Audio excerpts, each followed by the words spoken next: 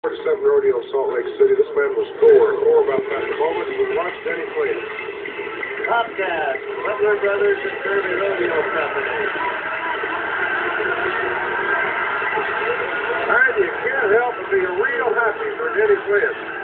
Six rounds within the eight seconds. Usually it takes a little, very fast ball to do it. Look the speed. Room on the outside.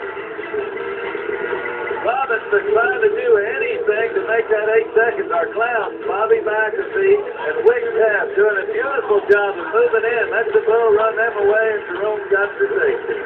Robinson had a good speed there, starts to get a little to the outside. When he gets away from his hand on the outside of that spin, has absolutely no chance. The only thing would have been if the bullet reversed and come back and picked him up the other way. And now here is the. You know, the most dangerous thing about one of these bulls is their feet. It's not their head, although that looks that way. When they step on you with one of those feet, or even mash you with their hop the way this one did, it's got to hurt.